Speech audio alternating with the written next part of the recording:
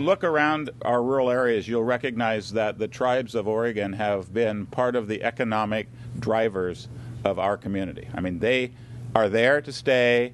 They are going to figure out how to make it work for the people of their particular tribe. But more importantly, they're there to make it better for the entire community. And um, when you start working together, you start recognizing how much we have in common. Um, and the state of Oregon has a unique program um, in that uh, Governor Atiyeh, a Republican many years ago who passed away recently, um, came up with the idea of a, a standing commission, the Education Commission on Indian Services. And um, it has its own room in the Capitol. Actually, it has its own room in the Capitol better than the governor has a room because we r- rent it out to the governor. But um, Legislative Commission on Indian Services has their own space. Um, and we bring all nine tribes together. There are two senators, one from each party, and two House members, one from each party, who are also on the Legislative Commission on Indian Services. And I think through conversations, we also decided that there are a lot of non represented tribes in Oregon, and there's a health group, NAEA, out of uh, Portland, and so they have a membership on the board, so we get different conversations. And over the last number of years, um, the, the House, the Senate uh, Republican leader, um, and myself have been the two uh, Senate members, and we've cooperated with our tribes and through the commission come up with a lot of legislation um, regarding Native Americans and how how do we work together with our tribes. Um, this one, one of the landmark ones that came right at the end of the session um, to get the money for it. Um, we, we, we, came to the conclusion that education for our citizens of Oregon and our public schools need to be a more accurate understanding of what the tribes have been giving and have been doing for Oregon for a long time. So we have um, some money for each tribe to develop a curriculum about who they are, where they have been, how long they have been there if they want to talk about it, and to start developing curriculum that will go into every school in the state. Um, and I'm, I'm, really excited about that one. There's some people here who were instrumental in making that happen, and so I just wanted to give you a slight introduction about what we're doing, and I'll I'll turn it over uh, to a person who impressed me a lot. Um, came to the rules committee to have a conversation, um, and she ended up. Um, I kept saying, "Why is my old student from North Bend here?" Um, and it turns out they got married. Uh, he's a tribal member of the Coquilles, Mr. Yonker. Um, and so it has been interesting to watch and see and recognize um, the power and of, of, these different peoples. There was a conference just last week of which uh, uh, Darrell was a major p- contributor in. Um, what's the initials? I, uh, the ATNI. ATNI. Yes. ATNI. Uh, so we talked about that, and one of my goals over the next few years as president of PNWER. Um, Dan Ashton, who was the president last time, wanted to start getting the First Nations involved in PNWER. I, my goal is to figure out how to get our tribes um, engaged because PNWER is about the economic vitality of the Pacific Northwest. And I will tell you that there isn't any part of the Pacific Northwest that isn't Indian country. So we need to have conversations with um, our partners uh, to have, a, I think, to help make PNWER stronger as well. So with that, I'm going to turn it over to Darrell, um, who you will find out is also a brilliant woman. Um, and so don't get an argument with her. Uh, so with that, thank you for being here. Uh, well, thank you. Thank you, and good morning, or in my tribal language, Niachmaiski. Uh, my name is Darrell Kalika. I'm a citizen of the Confederated Tribes of Warm Springs. I'm um, of tribal descent from Warm Springs. I'm also Wasco, Molalla, um, Snoqualmie. I also have relatives at Tulalip.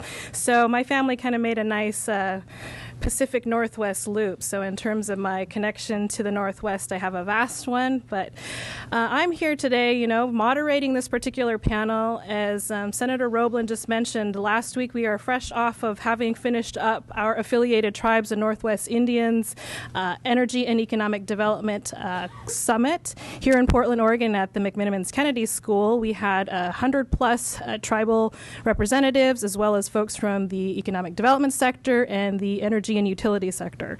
So the other hat I'm here wearing, which is a new one, is uh, the is that of the director of the Institute for Tribal Government at the Hatfield School at Portland State University. So I'll be kind of here in that in those dual roles. But what I wanted to do is one, we're going to get started with this panel, and a little bit of the structure of this panel is going to be I'm going to have them introduce themselves briefly um, to go down the line so you get to know who they are, and then we'll circle back and do allow allow 10 minutes for them to talk about what it is that they're doing and working on um, with relation to the region, economic development, um, energy, which that's kind of my area, um, as well as sort of the uh, sector of environmental entrepreneurship. Tribes have a deep connection to being good stewards of the land. So a lot of that in terms of economic development is balancing the uh, stewardship res- responsibilities that we have um, as tribal people, but also in terms of providing economic revenue and stimulating tribal economies. And that's really been kind of the theme of our summit last week was developing and stimulating tribal economies. What does that mean in defining those? Helping reservation economies, which are really rural economies, um, cycle their resources, cycle the dollars back into those communities, because often the vast majority of tribes, those the, the financial resources go off and external to the reservation services and what have you are off reservation. So we're really working to try to generate um, those resources um, within tribal communities. So that that's a bit of part of what we're doing. And then we'll reserve the last 30 minutes of this panel because it is 90 minutes to um, question and answers from all of you as uh, they, our panelists, go through their presentations. I'm sure it's going to stimulate thoughts and questions um, amongst you. So we'll reserve that time for, for that. But what I'd like to do, we have such a distinguished panel. I don't think I could do justice to introducing all of them other than knowing that I have some um, longtime friends on this panel and colleagues who've been there um, throughout my work and career, as well as some new friends that I'm going to be making in terms of the future of some of the work that uh, I'm working on for the affiliated tribes of Northwest Indians and for my role at the Hatfield School. But before I hand this over, I do want to ask a couple questions of all of you. So, do you know which bridge in the city of Portland is named after the Tilikum or the I just gave the answer away. I'm going to give a harder question then. So, what tribe in Oregon um, is named after smelt? You should know this one. But I'm not going to answer. All right. So, he already mentioned it. So, does, does anybody have an answer? It was kind of given away in his introduction. Anyone? Yes. Yes, Coquille. Skockwell is actually the uh, word for uh, smelt, but that's how the Coquille Indian tribe got their name. So, another question What is the Indian name for Mount Hood? Yes, yes. Well, great. We've got a lot of folks here that um, some have some familiarity with their tribal languages. So, um, so just to kind of get us going, I'm going to start with our panel here and let them introduce themselves, where they are from, and a brief background that if they want to share. But then we'll go into the longer spiel um, after the introduction. So, I'm going to start first with our Madam Chair.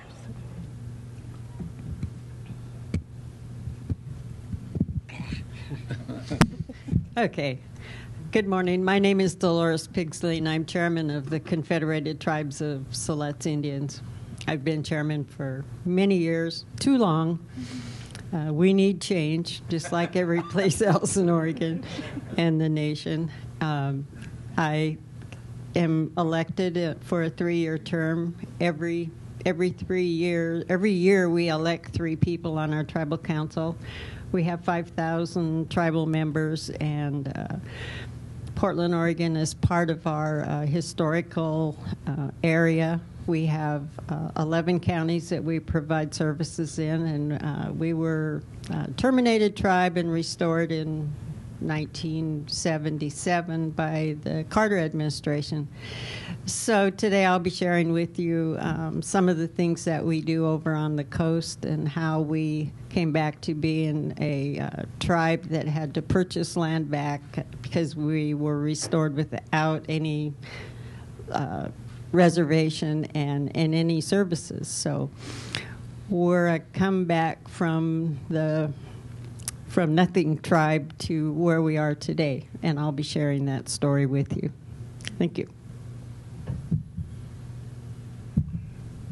Good morning. I'm State Washington State Senator John McCoy, 38th Legislative District, which is um, the Tulalip Indian Reservation, cities of Marysville and Everett. and I am a uh, Tulalip citizen. Um, my background is um, the uh, technology. Uh, the Air Force, and I, I was in the Air Force for 20 years, and uh, in its infinite wisdom, they put me in computers in 1965. so um, I've uh, done a lot of things, uh, was part of a lot of uh, historical uh, activity in regards to the technology. Um, and my tribe asked me to come home in uh, 93, of which in 94 I met Chair Pigsley. So uh, you can figure out at least how long are greater than that she's been chair. Um, but the tribe asked me to come home do economic development. And so uh, that's what I did. And through traversing through history, uh, I wound up in the legislature 15 years ago and uh, done a number of things um, for the great state of Washington and tribes.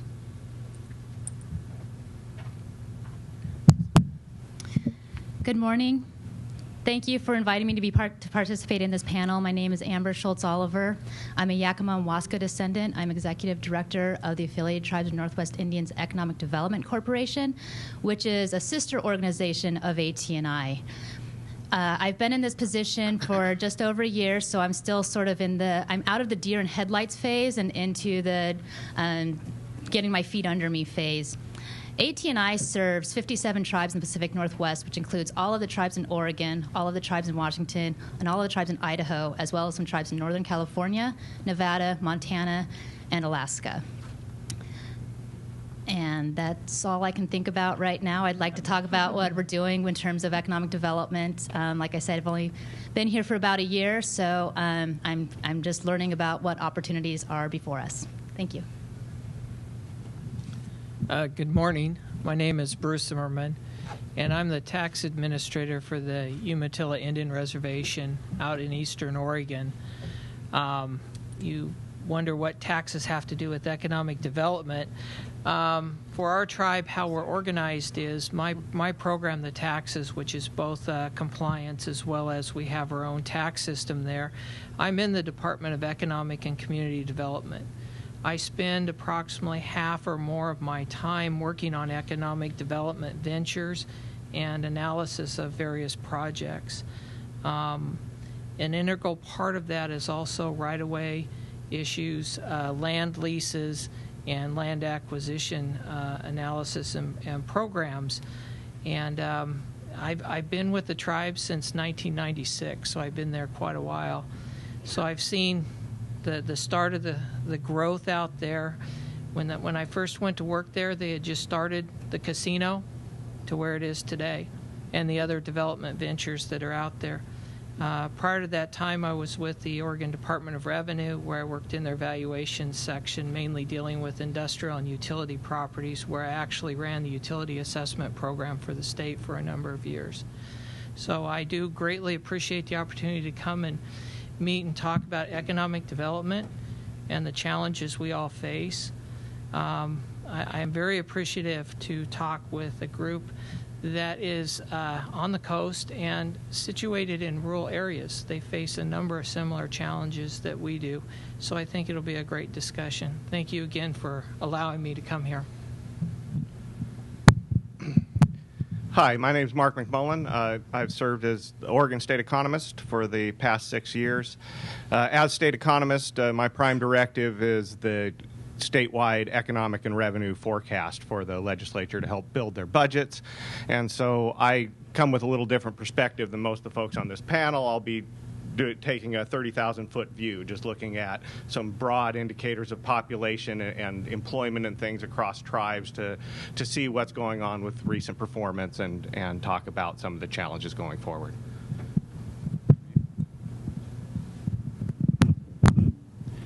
Good morning. I'm Jim Paul, uh, Director with the Department of State Lands. Uh, I'm going to be, uh, my remarks are going to be focused around the collaboration with states in natural resource management side of the rural economic development topic. I've been the director for uh, only about a year and a half, coming up on my year and a half mark, where I've been in state government for over 20 years uh, in the natural resource management uh, arena, starting with uh, Department of Forestry the first 14 years of my career, and I've been with the Department of State Lands since 2010. Uh, I will also be coming from a little bit of a different angle. We are, um, uh, than the rest of the panelists, we're a relatively small agency. However, we have, I would say, a disproportionately high number of activities uh, that involve engagement and collaboration with the tribes. And that is in part to do with a very diverse uh, set of uh, responsibilities that we have, uh, despite being a relatively small agency. So I'll be talking, touching a little bit on uh, those issues as well and thank you for uh, the opportunity to be here. So, thank you. So, as you can see, we have a really diverse panel and representation in terms of folks that have touch points on tribal economic development. And you have on this panel uh, a section of folks that, you know, we have Chairwoman Pigsley, who is an elected tribal leader um, leading the her tribe and nation, Senator McCoy, who is a, also a tribal citizen but a state elected official. Um, Amber is a lead of the regional intertribal organization. So we have several in the country, but we have probably one of the, the second oldest here in the Pacific Northwest. And then we also have Bruce, who is there working with uh, his tribe and plays an important role. So you get the perspective of working um, inside the tribal organization.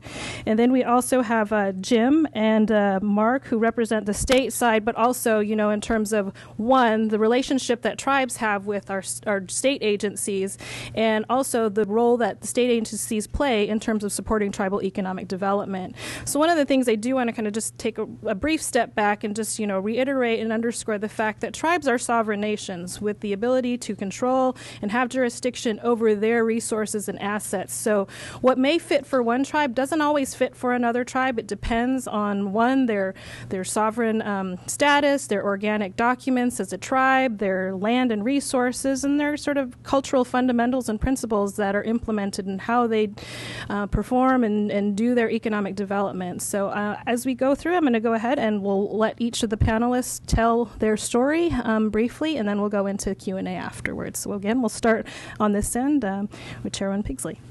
Thank you. Well, good morning again. Um, I want to take this opportunity to thank Senator Roblan and Rosie for all the work you do to put this conference on every year.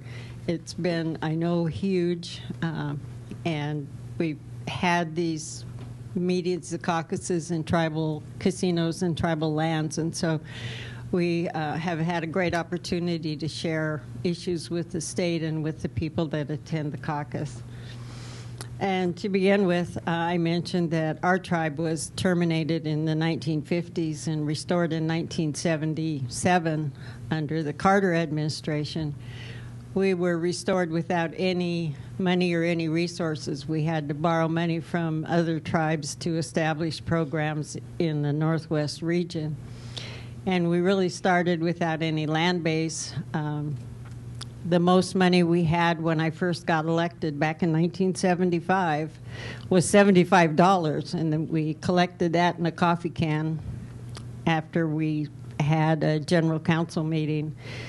And so I feel really blessed to have represented our tribe for, for many, many years. Uh, it's been a a huge job. We had to establish uh, a membership role, a constitution, and a land base. And eventually, we got 6,000 acres returned from uh, the federal government. It was BLM lands, and it was mountaintops that. Um, there were trees on most of the mountaintops, but not all of them. And so that was the beginning of um, any kind of economic development for the tribe was processing the timber and figuring out ways to access timber on lands that um, we had to buy right of ways. Uh, federal government never made any money on the sale of timber on those lands, and we had to figure out how to do that, which we did. And so uh, with the land base, we were able to start some programs, but soon after uh, restoration, we became um, a self governance tribe back in 95 after it was approved by Congress. And since then, we've managed under um, being a self-governance tribe, which means that we contract for all the funds that are, are due the tribe, and we're able to hire our own members and establish our own rules for how we how we manage programs.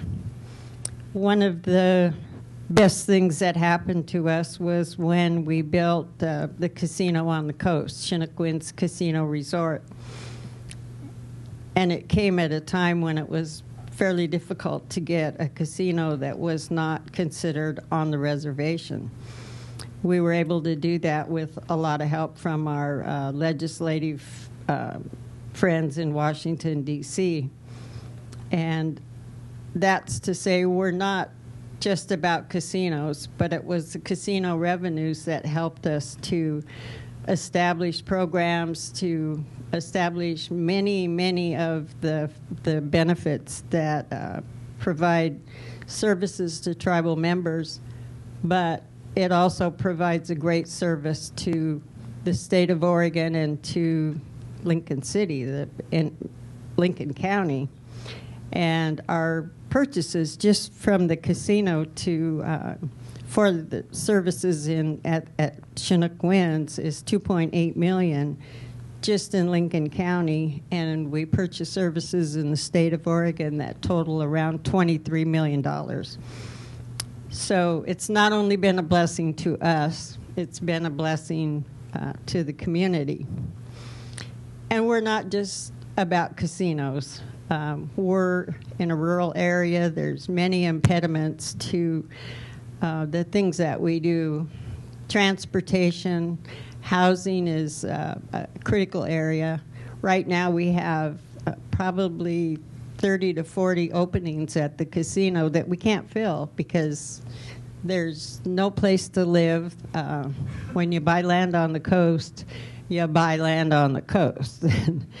and it's either lake frontage or ocean view or river frontage, and so it comes at a hefty price. And this is land that was really former reservation. And it's become um, difficult in some of the winter months when the roads cave in uh, on the highways to the coast. And so we look forward to some of the new transportation money from not only the state, but hopefully from the feds to fix some of those. Uh, roads that when they cave off, particularly the one from uh, Salem to the coast, it takes another extra hour to get there on alternate highways. So we really are um, blessed to be where we are and in the state of Oregon, and we're blessed to have the relationship that we have with our our state senators and, and legislators and our governor. And for those of you who don't know, our governor served on the Commission on Indian Services for many years. And so she's been very supportive of what tribes do, as well as the other members on the Commission on Indian Services. So we're happy that we have that support. And just to share a few numbers with you, right now we, uh, we've purchased timberlands. We have about 15,000 acres that we manage on a sustained yield basis. We cut two and a half million board feet a year, and that provides funding to help our seniors pay for their Medicare premiums and to provide a small stipend for those that are eligible we do lots of activities on the river, and we've gotten funds, lots of grants to uh, study stream habitat, uh, eel habitat, and forest lands, and some on climate change, which is being denied by some folks. But we know that it's important, and we know that our future is going to depend on the amount of water we have, the kind of water we have and the air that we breathe.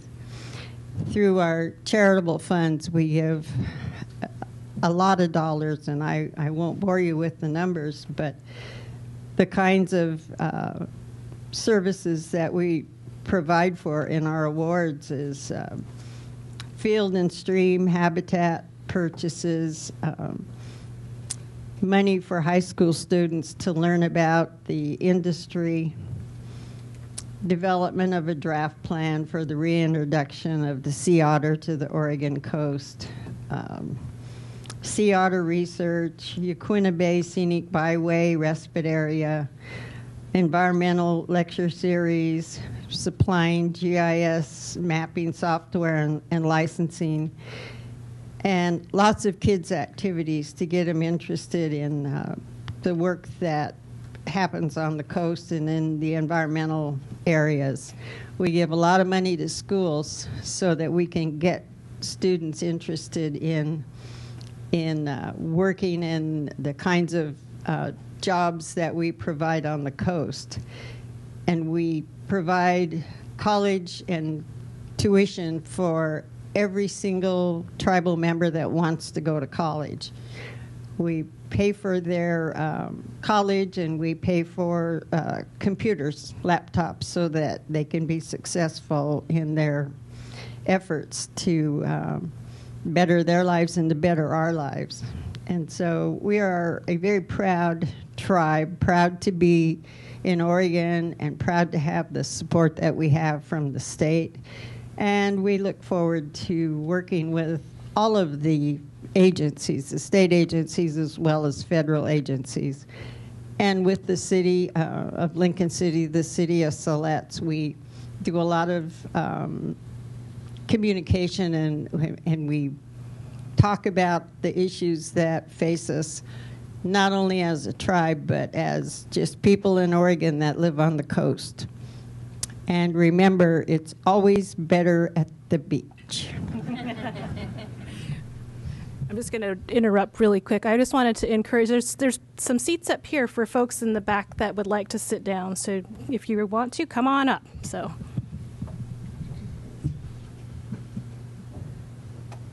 Good morning again. Um, uh, just to uh, give you a little more context to my background, um, I mentioned that the Air Force put me in computers in 1965, uh, which was the ground floor of the government getting into computers. Um, and uh, and like I said, I was uh, involved in some historical uh, uh, activity, uh, one of which was when we launched Telstar, the first communication satellite. I was on the test team that tested the capability of that satellite. Then on my birthday in 1969, um, between the uh, government and research universities and, and others, uh, there's this little activity that was launched called ARPANET. Today it's called the Internet. so uh, that was a, a, fabulous time. Had had a lot of fun with that. Um, so when I came home, and then in um, during Ronald Reagan's first term, the company I was with had the contract to automate the White House. The White House was uh, manual operation, and we took it from manual to automated operation. And my particular area of responsibility was the Situation Room. And um, looking at today's White House, well, I was there in that Situation Room when when uh, air traffic control was basically fired and then um, Ollie North and the Contra deal. Um, I thought it was chaotic then, but I think it was a walk in the park compared to what's going on today. so, um, but anyway, my tribe asked me to come home and um, do economic development. And, uh, you know, that was a pretty big challenge. You know, I, I didn't um, I hadn't done things like that before, you know, in in having to worry about all all the infrastructure and everything. But um, sitting down, thinking about it logically, and working with uh, civil engineers, it, it was um, it was a task that could be accomplished. So. Um, I agreed to do the job. So in December '93, um, I left my company in D.C. and uh, came home. And I get home, and um,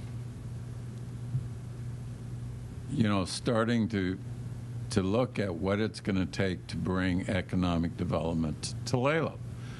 Well, uh, for those that don't know where Tulalip is, we're north of I- Seattle on I 5. Our east boundary is I 5, and our west boundary is the Salish Sea. Okay? So, and then we have Marysville and we have Everett right there. Um, well, I was totally frustrated because when I got home, the best I could get out of my home was dial up. Well, I left dial up in the 80s. and here it was, you know, in the early 80s. I left dial up. And now here it is, the middle 90s, and all I could get was dial up. So you can imagine how frustrated I was. So I convinced the tribe on its own dime because we tried to get grants from from the Gates Foundation. Didn't want to didn't didn't want to deal with us. Uh, the FCC and all the grants that they do could not get a penny because it wasn't financially feasible. They couldn't make money. Well, my message out to Indian country today you can't use telecommunications as a profit center, it's a utility. And it must be treated as a utility. And so, in order to get any kind of economic development, you need the internet. Well, most tribes are in the rural areas. In the state of Washington, we have 29 tribes. There are some tribes that don't have internet. They're lucky if they get dial up. So, how are they going to do economic development? We're always told, pull yourself up by your bootstraps. But then again, we get all these little barriers that get in our way. So, so I convinced Tulalip to uh, put the money up to bring the internet to the reservation. So, as what I did, I worked with Everett Community College and the University of Washington and got them to bring the internet to Tulalip. By using the students out of the classes, yes, it took longer. Yeah, I could have hired some company that could have got it in there in six months,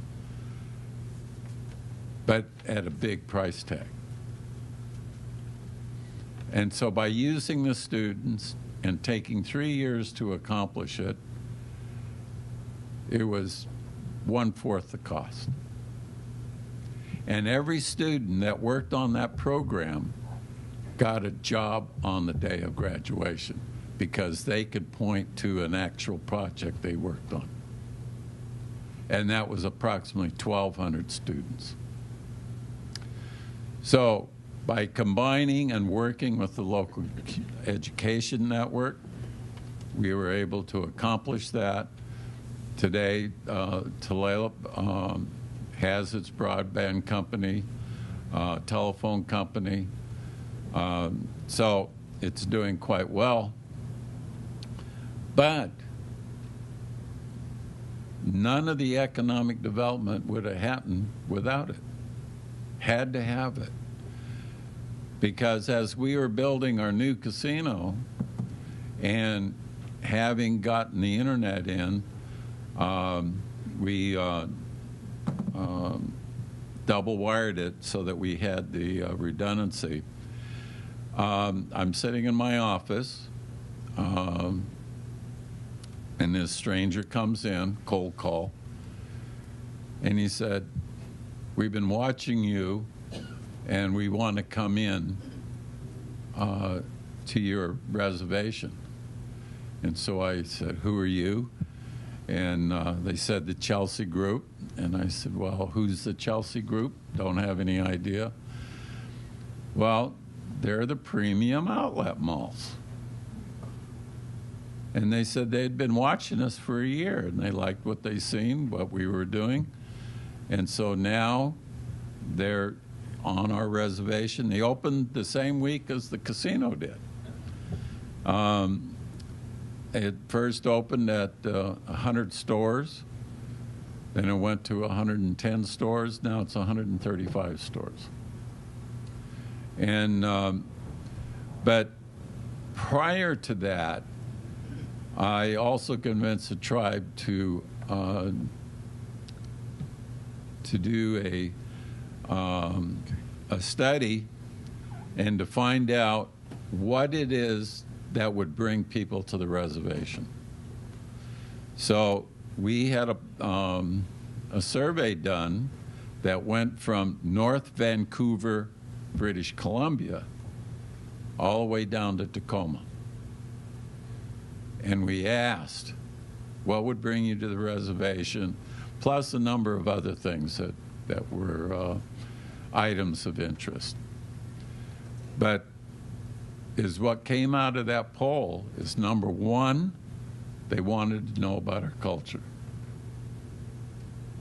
Number two, shopping. Then number three was the casino. Casino came in third. So tribes have to work at to figure out what will bring people in. And number one is that you got to have the internet. You don't have the internet, they're not going to come. So today, and um, I strongly suggest to tribes, is that we need to start working with whomever will work with us to bring fiber to the reservation. And then the tribe needs to, because it needs to be handled as a utility, create an intranet that they deliver the services that's required to their membership as a utility. So, uh, so you reduce the expenses off the telecom folks because they don't have to worry about individual homes or individual businesses on the reservation. Let the tribe do that. Then the tribe can train their members to be those providers. And so they're getting high tech training. So that's what needs to be done. And so that's what I'm telling tribes that that's what they need to do. So, and then uh, besides that utility, tribes also need to be their own power utility. and, and they need to get into alternative energy. Um, some of the coastal tribes uh, in Washington, we got three tribes that got to move their villages because they're going to uh, get hit with the water. So they got to move their villages. So um, they need to bring in their, be their own power utility because they're, they're, they have diverse needs and they should use all the technologies that are out there wind, solar. Um, got a great briefing on, uh, on uh, tidal technology uh, the other day. So tribes need to be involved in that. Now, tribe, individual tribes, they're not big enough to do that by themselves. They need help. And that's where I also ask tribes think about a number of tribes getting together and creating that utility so you get the bang for the buck. so that's my suggestion. Um, the entire communities in and near reservations. Um, it's well documented that when a tribe succeeds, all the surrounding communities succeed. So we need to partner on all these endeavors with our surrounding folks. Thank you.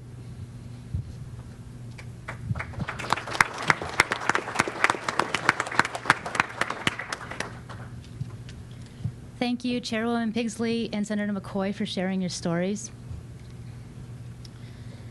As I mentioned in my introduction, I've been the executive director of ATNI EDC for just about a year. The thing I didn't mention is I'm a one-woman shop. um, so how does one person get their arms around trying to provide economic development assistance to 57 tribes? Well, I took this challenge and what we've been doing for the past year is working on creating our comprehensive economic development strategy. We have a planning grant with the Economic Development Administration, and um, we've been hosting a series of visioning workshops, and we also have a survey out to ATNI member tribes. And what we know about this strategy is two things. It's going to be pretty high level to be able to meet the needs of 57 mem member tribes.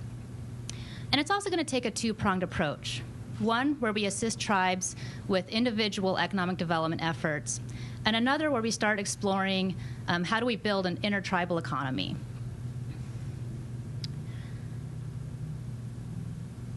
So let me talk a little bit about the um, workshops we've been hosting. Um, I've hosted two economic development visioning workshops, and the first one was just trying to keep the world open. What do we want to see in the future? What do we want to see in 20 years?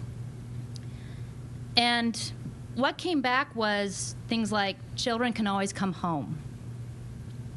Children still find value in their culture.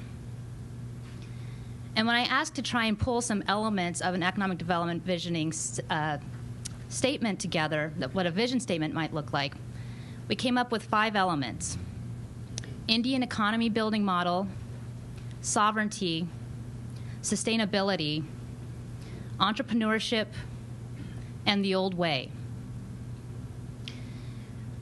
We've gone about this by asking questions like Is your community happy? And what is the definition of wealth? In tribal communities, is wealth monetary? So, this has all been a very interesting uh, exploration I feel like um, over the past year I've been gathering these separate puzzle pieces. Um, I'm not quite sure yet to what to make of them, um, but I have the next year to try and put that together into something that's going to be um, pretty cohesive. The other thing we do is we have a revolving loan fund to support tribal entrepreneurs gain access to capital. As you know, healthy economies uh, experience um, a robust private sector but there's a lot of barriers for natives to enter uh, or to start their own businesses. What are the primary ways of getting capital to start your own business? You can mortgage your house, you can tap into your rich uncle, um, or you can get a loan that's based on a strong credit, um, strong credit history. Well, unfortunately, a lot of uh, community members in our, on our reservations don't have access to these assets. So we provide loans to entrepreneurs to be able to help build the private sector on reservation. Um, in a healthy economy, the dollar circulates about seven times, but in reservation communities, it only circulates about once. So, being able to provide goods and services on reservation to keep those dollars within our community is important for developing our economies. And that's pretty much all I've been doing for the past year. Um, it, it's actually kind of a lot. um, And I'm, I look forward to pulling together our strategy and being able to share that with you um, the next time we have an opportunity to meet. Thank you.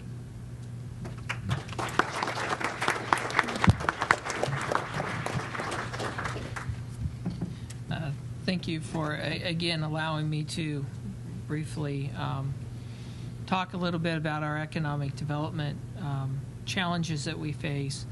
And we are in rural Oregon. Um, We face a number of, of, of unique challenges that the metro area doesn't face. Um, Transportation is, is one, and um, another is workforce. We don't have a large population and population density to draw from.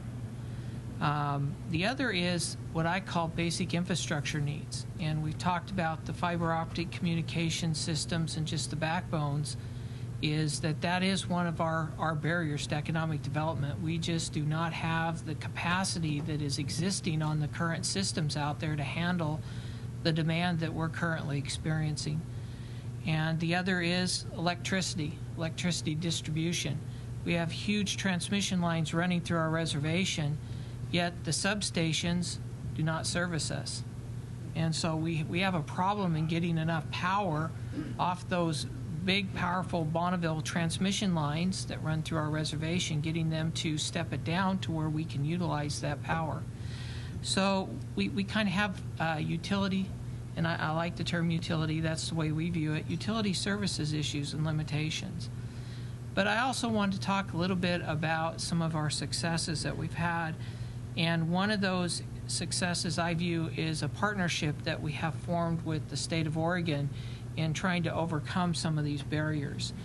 Um, I, I've been around there uh, quite a while, and um, it, one of the unique partnerships that, that I think really started was back in 2001 when Warm Springs, uh, through Michael Mason, and, and we had a number of discussions with the state legislatures uh, about creating what we called the Reservation Enterprise Zone. In Oregon, they have enterprise zones to encourage economic development. Well, we were looking at how do we encourage those same incentives or benefits to attract economic development in rural areas. And so, what was created in the 2001 legislature was the Reservation Enterprise Zone program. And I view that as a tremendous success, and I'll, I'll explain a little bit more. Because when you look at economic development, one of the key things is risk and uncertainty. Those are the two components that developers really look at. How can I mitigate my risk, and how can I take uncertain situations and make them certain so that I can eliminate that, that question mark? And in working on the Reservation Enterprise Zone, provided some incentives, but it was just one step of many. There's been several other uh, key pieces of legislation that, that has gone through that, that has kind of helped knock down that uncertainty. Um, one was, um, I refer to it as the uh, Essential Governmental Services Bill. It was back in 2012. There was some legislation that went through that the tribes were very supportive of that exempted the tribes when we started building infrastructure of course, when we build that infrastructure on fee lands, it becomes taxable. And so here you have us trying to extend municipal type utility services out on fee lands, and we're paying Oregon property taxes, which cause an extra burden. And what what the state of Oregon did was they said, if we locate property on fee lands that is providing governmental services, and it was broadly defined, um, those would be exempt from property taxes. So again, you take a barrier down and remove it. Um, there is some issues still still there. There there are some components we would like to add. Uh, two of the components that were omitted from utility services were communication services and electricity, and so we'd still like to follow up on that. Um, one of the other things is whenever you're dealing with multiple sovereigns or multiple jurisdictions, the issue of taxation is, is always comes up who has what right to tax, or if both jurisdictions have concurrent taxing jurisdiction, how does that work? And in the reservation enterprise zone legislation, there is an Oregon income tax credit that the state allows for a dollar for dollar income tax credit for tribal taxes that are imposed on those businesses located uh, within those zones. And when we started laying that out for people that were um, looking at doing development on reservations, they said, oh, that's like paying taxes to a, uh, a foreign entity. And so, you know, Oregon offers a credit for that. And so they, that's the analogy they were kind of drawing, and it made sense to them. But what it really did was it provided some tax certainty. Another major piece of legislation that went through, and this was um, in 2015, it's often referred to as the Chehalis case, where the federal courts and federal law clarified what is taxable on trust land that is operated and owned by non-Indians or leased by non-Indians versus versus Indians. And it basically said that real property improvements are an integral part of the land and therefore are exempt. But what we found out in talking with developers was that was not sufficient. They wanted to know what was the state of Oregon's policy on that. And so the state legislature clarified and codified that into it.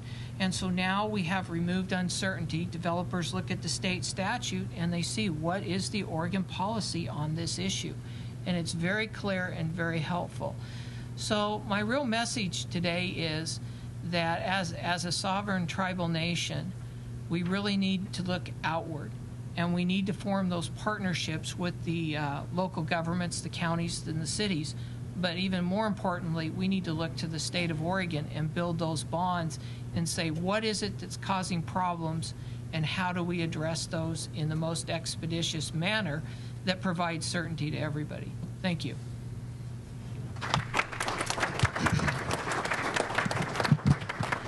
Hi, thanks. So uh, again, I'm the numbers guy. So from the 30,000 foot view, uh, you know, of at least Oregon's tribes, which I'm most familiar with, uh, is that the, the tribes are growing, really, in terms of what we're seeing in the population and the economic data and the jobs data and the like. Uh, particularly the population data. That's really what jumps off the page. But it's kind of quirky right now. But nevertheless, uh, there's significant growth when we look at the at the census microdata for for our tribes.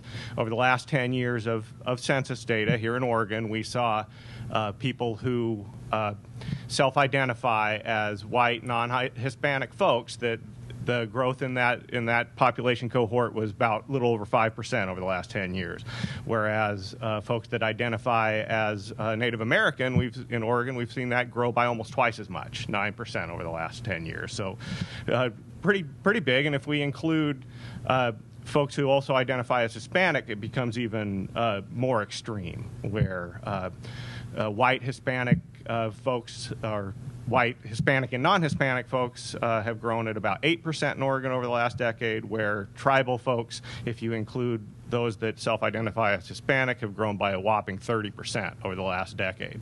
So what's going on, right? Some of it is uh, fundamental population growth uh, like we're used to, in, in, insofar as uh, tribal communities tend to not have as big of a baby boom or bulge. And so in recent years, those death rates have been lower among, among tribal communities than the average uh, Oregonian.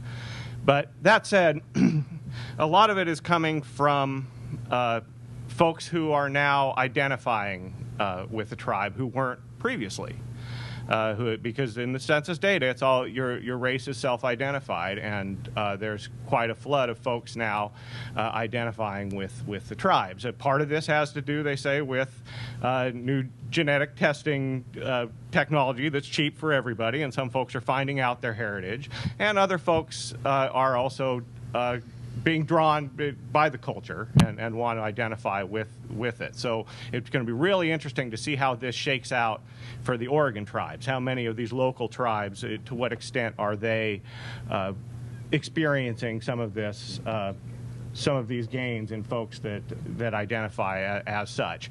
Uh, we won't know until the 2020 census when we start to get in a little bit deeper. For, for me, this is an opportunity to always pitch. Uh, we need more money into the census. Uh, in the 2010 uh, round of it, Oregon kind of got beat up by other states in terms of other states putting more resources into trying to find their un- they're difficult to measure populations, which turns into millions of federal dollars in the end if you can if you can identify your some of these hard to reach populations, which the census does. And, and given that uh, you know we're we're in a world with a federal war on knowledge right now, it would probably be the state funding for this would probably be even more important than ever. So Oh, what about jobs? Well, we're, the population growth is obviously there. What about jobs? Well, it sure looks like it. We don't get good, timely data on uh, the jobs within the sovereign nations. But we do, as has been mentioned here uh, a couple times already, we do notice a real close tie between the local communities surrounding uh, surrounding tribes, and so we can get a kind of an idea of what's going on in job markets by looking at the surrounding areas. So how did I do that?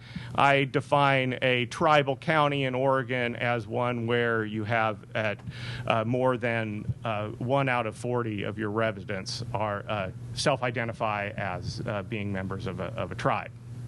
And so, looking at that, our, our tribal counties are doing quite well. Over the last two years, these tribal counties have averaged uh, 2.5% year over year employment gains, which is about as good as it gets. These aren't our high-flying counties in Oregon when we're talking about, you know, Sherman County and Lincoln County and Wasco and, and whatnot. These aren't necessarily always our, our fastest growers, but we certainly have seen a lot.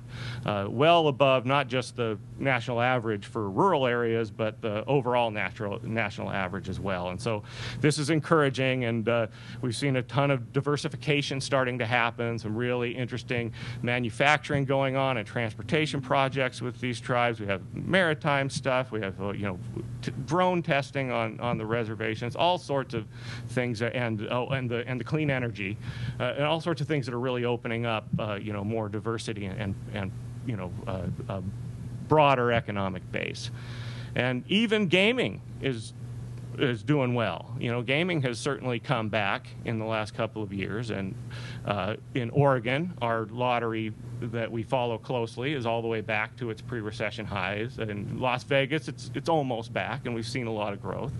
So that's that's encouraging, particularly in the last couple of years. However, going forward, it, it, it's it's likely that that pie is not going to grow very much. You know, the the tribes in the state and all the other uh, wildly competitive places you can come and gamble or, or game uh, may you know shift who gets part of that pie but the pie itself is not growing like it used to. Although we're back to pre-recession uh, peak levels in terms of gaming spending uh, we're a lot bigger economy now than we were then. And so for the Oregon part of it, which I follow closely with the video lottery and the like, back before the recession, uh, the average Oregonian were spending about video lottery sales were about 0.6 percent, six tenths of a percent of Oregon's income. So a little bit more than a half a percent they were spending on on video lottery. Now we're down. Uh, we really haven't come back very much since the recession. We're looking at about 0.4 percent.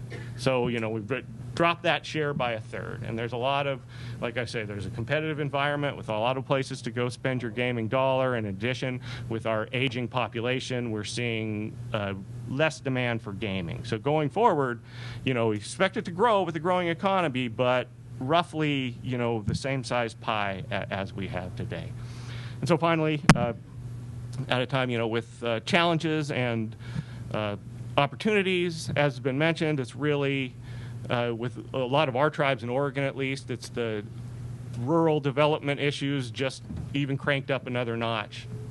So we're talking about infrastructure and telecommunications and transportation and, and education and, uh, of course, housing. And, and housing is one that might bear a, couple more sentences on it because it is really uh, really pronounced uh, for our tribes. Uh, housing is housing affordability is a problem across the rural Pacific Northwest, with the exception of a couple of our Canadian provinces that we have here today. But for at least the U.S., it's, it's across the rural U.S. across the rural Pacific Northwest, we have really issues with housing affordability and and access. That's even more pronounced eh, for tribes. Uh, in Oregon as a whole, about 61% of our housing stock is owner occupied. When we're talking about uh, households that identify as, as tribal members, it, that drops down to 45% of owner occupied housing. And so uh, so not only do you have the same issues as we have everywhere else in terms of workforce housing, but we also have issues in terms of this is the way communities oftentimes build a lot of their monetary wealth is through home ownership and that becomes difficult. And a lot of times, uh, in some of our, for for some of our tribal members, they have to uh, leave the reservation in order to get uh, the housing that they that they're looking for, the the the fit, the housing fit. And as a result, that's more dollars that bleed out of the local economy. So with that, that's that's it for my time. So I'll go ahead and pass along.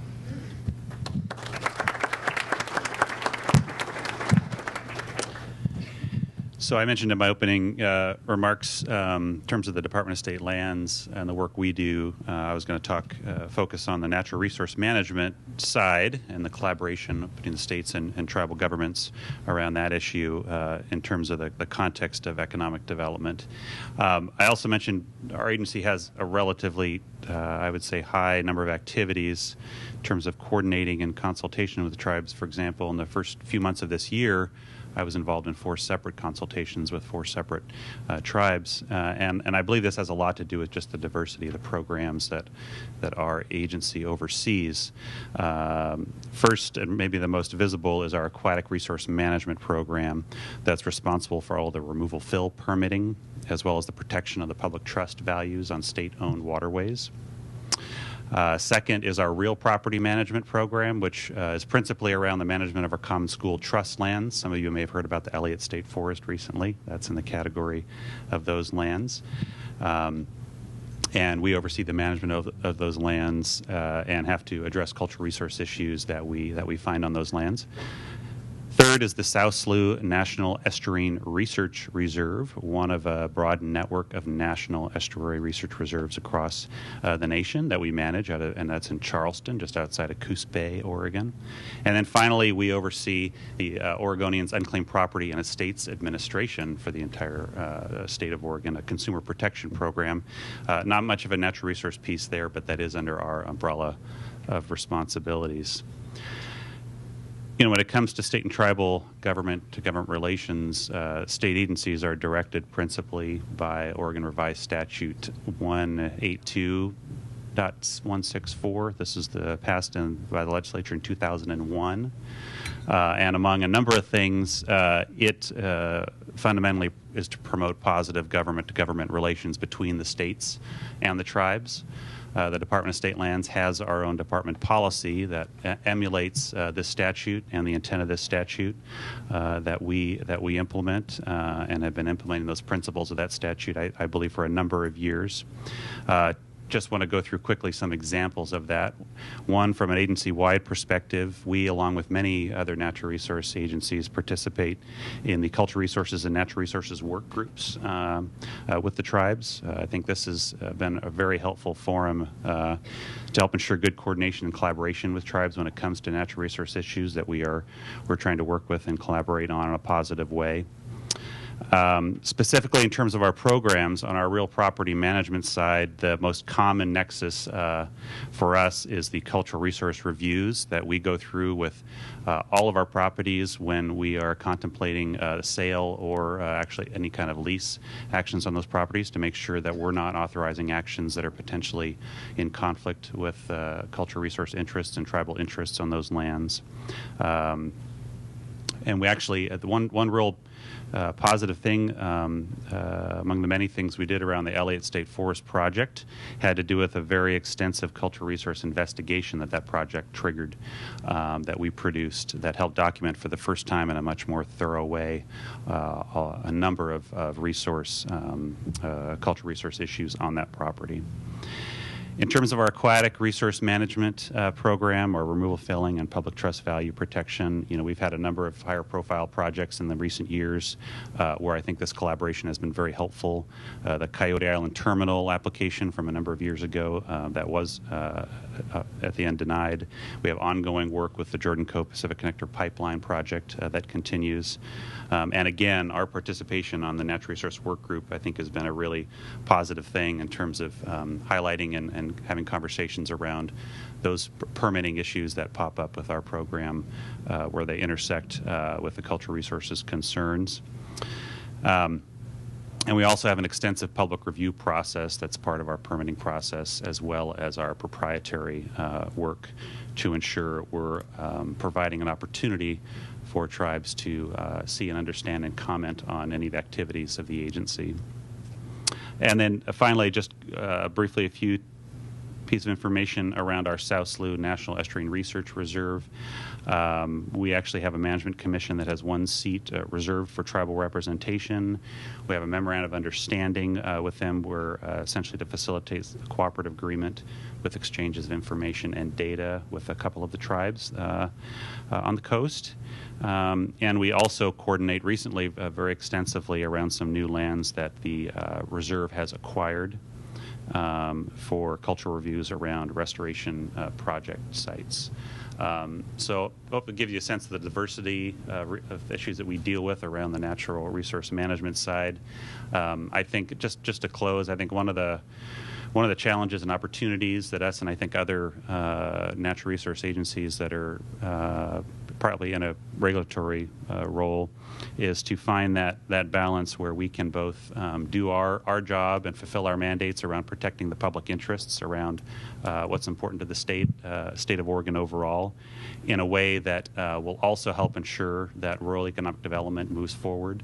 You know, at a minimum, ensuring it doesn't get in the way, and hopefully at the other end of the positive spectrum can actually help uh, facilitate it. So that's I know that's a goal that we and I actually mention uh, frequently uh, to my staff around that we should keep in front of us as as we're doing our work. Thank you.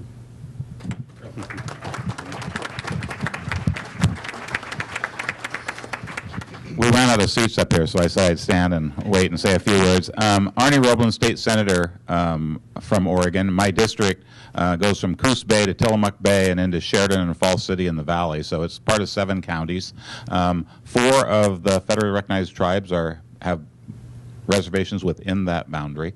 Um, and so it's been really important for me. Uh, when I first got into the legislature in the House, they uh, I asked for and was assigned to the Commission on Indian Services, which I think is a, a, a really special and unique thing that Oregon did a long time ago. Can't take credit for that. Governor Atiyeh can take governor, uh, take credit for that. Um, our director is here, uh, Karen Quigley, and uh, people who want to have intimate understanding or a person who can help you find intimate understanding of the nine tribes of our state. She is a, a, a major resource for us, and uh, that connection between all of the state agencies and our tribes, which is really important. Um, Right now, there are four legislators, two House members and two um, representatives that are on that. And we see, I think, as a group, as legislators, our job is to help help these tribes become economically um, more independent and, and do the things they need, and to recognize um, clearly as legislators, because a lot of legislators do not, and a lot of Oregonians don't really understand sovereignty uh, and the unique place that these nations play in our state uh, and the unique relationship that they have with the federal government. And we need to make sure that we understand how that works. And it takes time uh, it takes effort to do that. But right now, uh, all of the police forces that the tribes have are trained in Oregon by our same training. And because of a law we passed, which took a little bit of work, uh, they can be peace officers just like our, our people are peace officers on and off the reservation. And I will tell you in rural areas where we have not had enough resources to have public safety, uh, our tribal police are really helpful for those communities to do that. And uh, we've had some really amazing interacting interactions between local police forces in cities and counties and our tribal police forces. And that's been a, a real positive. When it came back for, it had a sunset date. When it came back for sunset, there was no real conversation. The first conversation was a very large and active one because we have two different kinds of tribes in our state, and I think people don't recognize that. There, all of the Western tribes were. Um, disbanded, I guess, by the federal government in 1954, uh, and the Siletz were the first to get back, um, uh, made that transition, and the Coquilles were the last. And that's, I think, happened when I first came there in, like, in the 70s. So it's taken a while to make um, those adjustments and then to figure out what it means to be a sovereign nation within another sovereign, um, the state of Oregon but together we can make a difference. And if we respect each other and respect the, the, the, common things as well as the unique things that are available in both, I think you can help the economic development of everybody. And I think it's, it's showing in, this, in the work that's being done um, as we look at that. Um, but it's also showing, I think, in legislation that's coming out about uh, our schools, about other ways of doing things. And in my family, I have a, um, uh, a sister-in-law who's part of the James, Jamestown S'Klallam tribe. I have a niece that's part of the Elwha tribe. I grew up in Port Angeles and knew those tribal things, and I've had the opportunity my whole life. My parents um, my grandmother was a normal school teacher on the Queets River, and the only way she could get there is her father would drive her to the beach. Um, a Native American person would come down and help her walk and forge the rivers up to the Queets, and then another tribal group would take her in a canoe up to the white reservoir, the white settlement on the Queets. She would teach, and the whole reverse would happen at the end of the year. So over hundred years now, we've been trying to figure out how to work with these unique uh, citizens that have been here for a long time and have an intimate knowledge of our state much more intimate than our knowledge of that state. So um, I, I, would recommend to you a book. Uh, the People Are Dancing Again, the Siletz had done,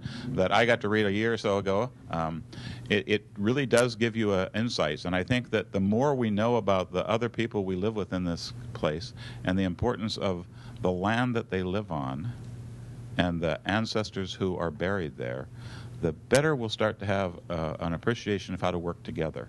And when you work together, you get a better outcome.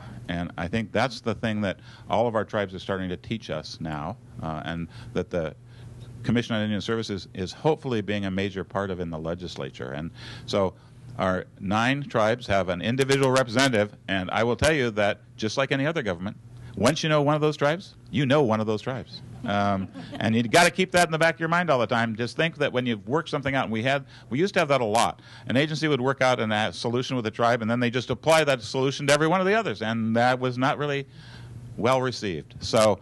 Um, figuring out how to do that and make it seamless so it works is really an advantage to all of our um, economic development in rural areas. I, I, I, can't tell you how much uh, understanding and listening to each other can open the opportunities for economic development in all of our areas. And that's the big message i hope. And i heard i think i heard that theme throughout this group.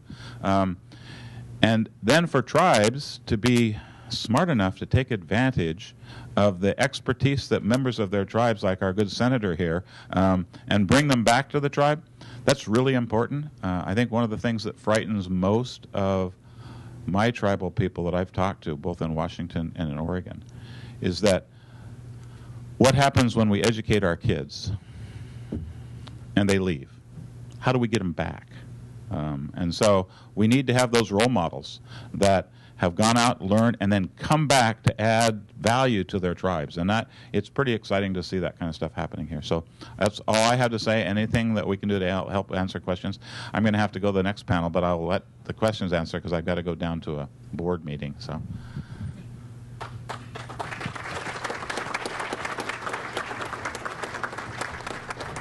Well, thank you again. Thank you to all of you for uh, staying with us, listening. Um, we're going to transition over now to Q and A's. What I'm going to do is go mobile around the room, but I just wanted to do a little quick summary of some of the themes that you heard today with regard to the topics. Again, I think Senator Roblan did a great job of, of tying up a lot of those loose ends, but partnership is probably one of those key components. So.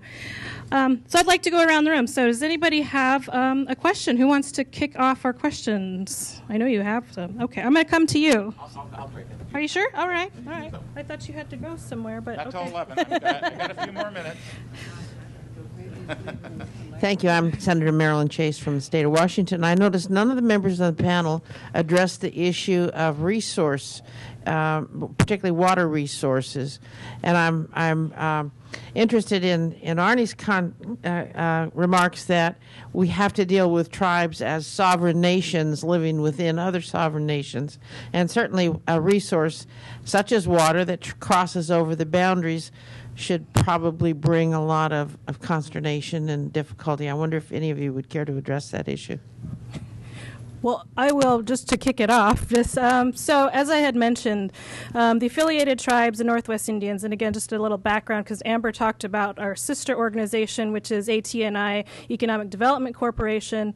Um, ATNI EDC actually started as the tribes, you know, pushed to have a separate organization and entity provide resources and services specific to economic development because that was one of the leading priorities and still is a leading priority for member tribes. So, ATNI represents 60 plus tribes in the Pacific Northwest. We're also a member of the Northwest Energy Coalition, which includes uh, First Nations as well. So that's been sort of our bridge. But to get to your question, uh, some of the priority programming that we provide at ATNI, in addition to economic development, is energy. We have an energy program which I lead um, in regard. I've worked with Gen- Senator McCoy quite a bit on national energy policy with DOE and standing up the Office of Indian Energy um, within the Depart- U.S. Department of Energy. Um, we also have a natural resources program and a climate change program as well. So, with regard specifically to water, so water, in my assessment, and I'm going to take a little step back, is that we in the Pacific Northwest, particularly tribes, not even just in the Northwest, but the nation, um, have really had our conversations around water related to something else. And by that I mean related to infrastructure. Um, water plays a supporting cast character. With regard to talk about, you know, fish and wildlife restoration and protection, water is a secondary character. Um, the concern is growing as demands are increasing on water resources with the impacts of climate change, um, changes in population growth within basins and subbasins creates more demand. Water quality changes to water quality um, are all concerns. So, as a part of that, one of the things we're doing next week actually is the first intertribal, and we're taking this as a pilot project here in the Pacific Northwest, but it's the first intertribal water summit where we're focusing specifically on water. Now, I'm an attorney, and my background is in natural resource law. I focused on water law um, through law school. And, you know, when you talk about tribal water law, it always goes to the conversation about tribal water rights and adjudication, which falls in the hands of the states that the uh, tribes um, reside in. And for so long, that conversation has been around water rights and adjudication, but there are so many other issues that we're not hitting, particularly um, environmental health, um, looking at the sources of water. I'll take a specific, even dial this, this down to a specific example. Um, my tribe resides on the, is in Central Oregon. Uh, one of our borders is the Deschutes River. And so over the years, we've had some ups and downs with relationships in terms of our relationship with the upper basin because we are on the lower basin or the lower end of the Deschutes River. And so water quality issues and water quantity issues become a concern. Um, I recently heard that um, the growth, and, and, perhaps you can correct me, um, Mark, but the growth in the city of Bend, which is in the upper portion of the basin, has exceeded the modeling.